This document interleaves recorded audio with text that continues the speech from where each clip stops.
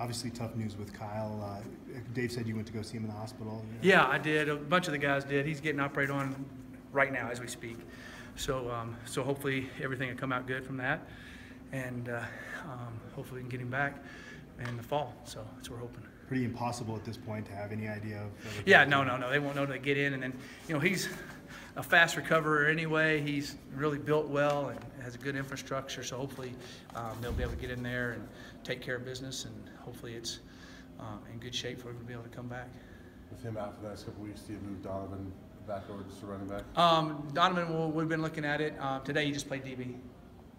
Anybody else that you would No, consider moving not out? right now. Okay.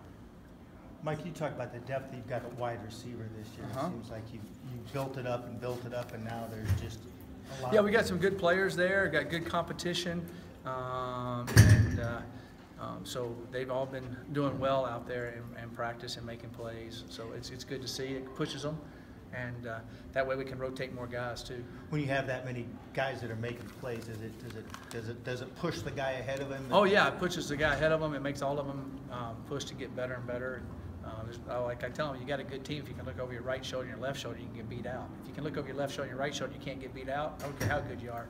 Not a very good team. What does that say about the depth that you've built compared to the first Yeah. couple Well, springs that you yeah, were yeah, here? Yeah, the depth is a lot better than it was the first few springs. You know, last year we had depth, we got depth this year, um, and so I'm, I'm excited about how they're competing out there. Is it nice to get Devin Ross back out there at the wide receiver spot practicing? Um, yeah, Devin's been around. He's had some other things he had to do, um, but he's been out there and different things. So uh, he, he was out there today. He was out there the last couple of days. How impressed have you been with Evan White as he's come back? Uh, Evan's doing good. He really is. He's doing good. He's bigger.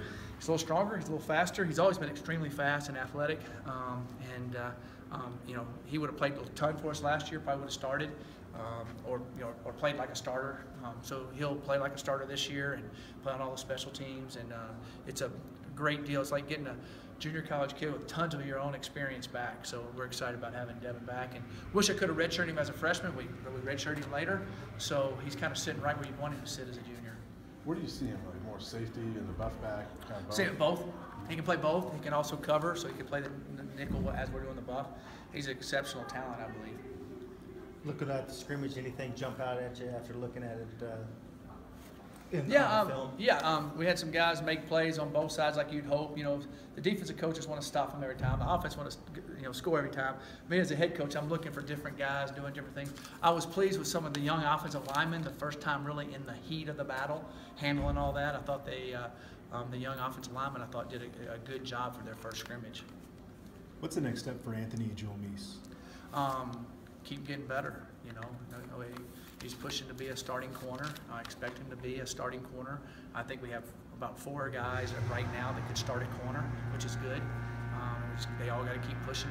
What happens in our world is they'll all end up having to be starters before the year's over and play critical roles and play against good players. I think he's very talented and he's got to just keep fighting and competing.